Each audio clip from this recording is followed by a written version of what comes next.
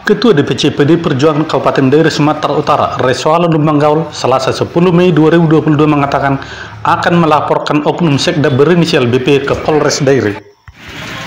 Pengaduan terkait dugaan penghinaan Ketua DPR RI Puan Maharani lewat komentar di akun media sosial BP.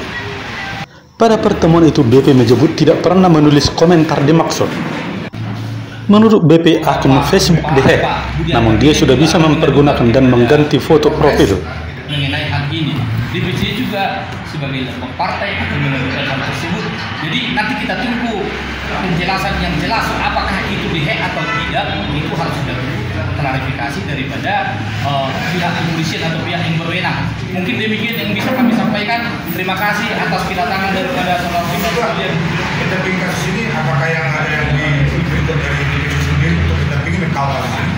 Enggak, ini beda, beda pengaduan. Dia mengadukan Facebooknya dihack. Kami mengadukan bahwa kami ada penghinaan terhadap ketua DPR RI kami atau ketua uh, DPP. Jadi beda konteksnya. Berarti terlapornya siapa nih Pak? Terlapor Budian Tapina. Nah, jadi mungkin ini yang bisa kami sampaikan. Dari News.co mengabarkan untuk Anda.